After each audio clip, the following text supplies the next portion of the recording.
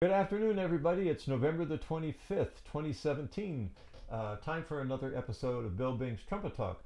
I haven't put an episode up for a while because, to tell you the truth, I'm not sure if I had anything to say.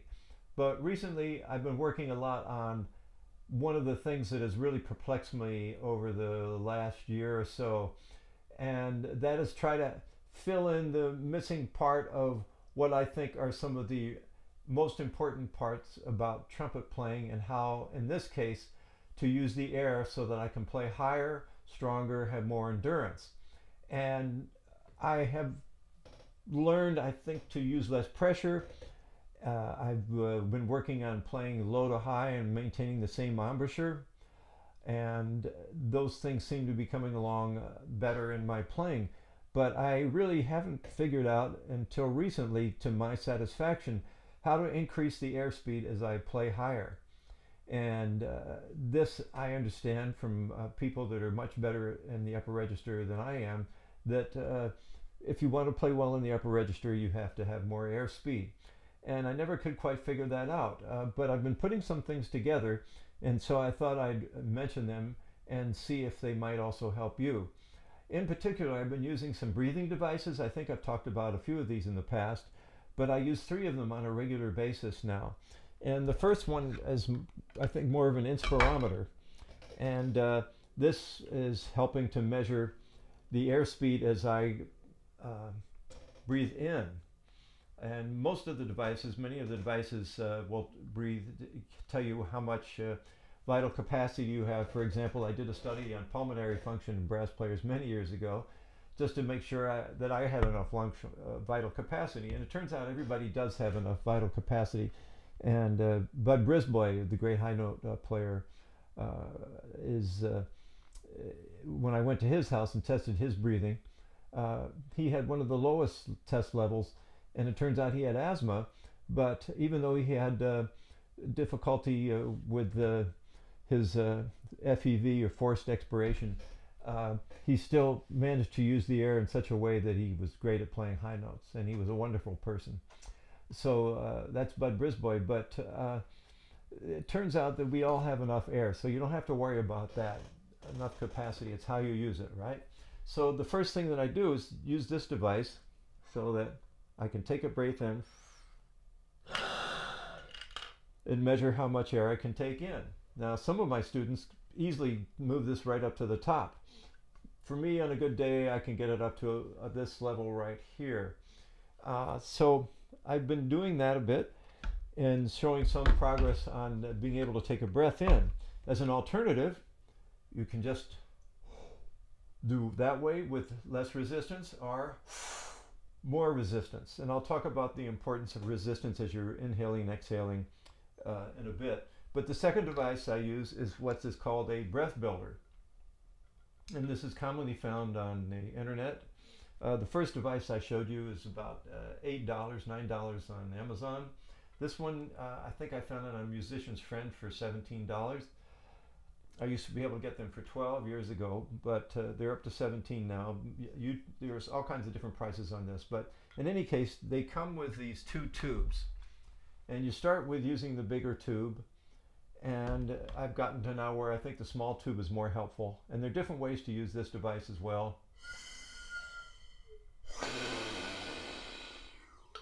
One important thing that I got from Claude Gordon was don't let your chest drop as you exhale. Try to keep the chest up as you exhale. The other thing is now I'm realizing the importance of more resistance as I breathe in and as I breathe out.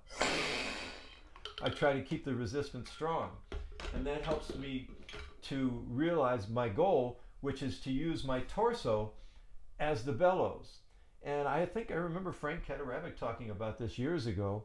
Great first trumpet player in the Detroit Symphony and the Philadelphia Orchestra. He also played third trumpet with the Chicago Symphony. But I remember other players saying, use this as bellows, use this torso as bellows. And then I recently been watching some uh, Maynard Ferguson videos where he does exactly that. So I've been trying to figure out, okay, how can I do better at using the torso as a bellows? to get the air out, not only to get the air out, but to get it out fast. That's sort of the critical component when you're playing high. So then John Lewis told me about this device, which is called a power lung. And unfortunately, this is a bit pricier. I'm not sure how much they are now. I think I paid 80 or 90 dollars for this. John suggests uh, John Lewis, the great studio player here in Los Angeles, has played first trumpet in the last two John Williams movies. And this is a power lung, and you can adjust a variable uh, resistance, which is handy.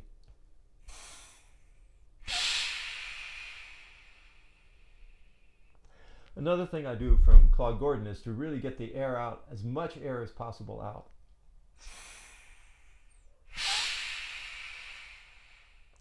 So that also works the torso and the breathing muscles.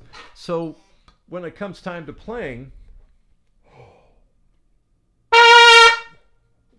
you know, I just put a ridiculous amount of air and fast air.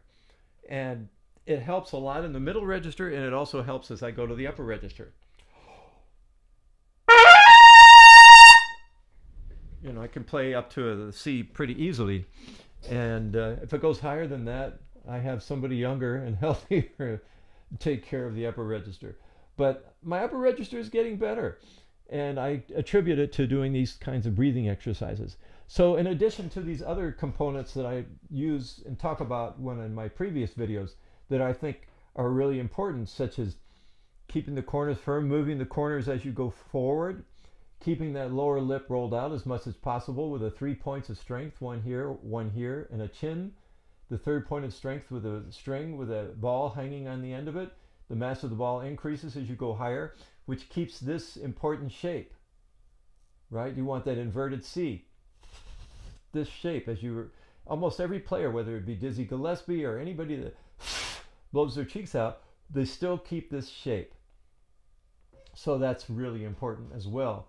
So we've got the embouchure that has to be strong so it can permit this fast uh, moving air uh, to go in place without collapsing. So you have to practice to build your chops up and you build your chops up properly and then the embouchure can hold so you can move the air fast.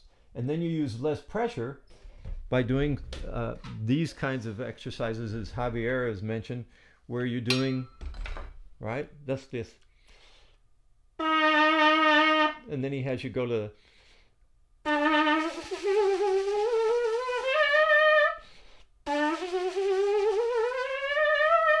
and higher as only Javier can do. Well, not only Javier, but there's uh, others that are really great at it, but he's one of them. But he came up with that. Uh, I call it, I used to call it Javier's torture. Now I call it Javier's delight. So this is, these are all pieces of the puzzle that I've been trying to put together for a number of years. And I think I've got most of the pieces of the puzzle put together now. Done a lot of uh, analysis of correct embouchure, correct breathing, uh, and uh, putting those all together using less pressure has uh, led to some really pretty good improvement in my playing. Even uh, though I'm 70 years old, I feel like I am getting stronger. So uh, that's uh, my contribution for today. I haven't had a video up for a while, but I wanted to let you know about some of my recent thoughts, especially regarding uh, breathing. Finally, uh, if you can't get those devices, you can substitute a finger. So when you breathe, if you want greater resistance, you move the finger in place and keep the chops closer together. If you want less resistance, you can do that and take a big breath. They both are helpful. And then exhaling, you can use the resistance of the finger in front of the chops to help build up your chops. And then when you play, using the torso concept of moving the air from there. And uh, watch some of these great players. Uh, go back and watch some Maynard Ferguson videos because he does exactly that. All right, well, I hope this has been helpful. And uh, I really appreciate everybody who's been watching. Uh, I have over 200,000 hits, uh, over a 1,000 people watching on a regular basis. So thanks for watching and uh, enjoy your playing and keep blowing. Take care.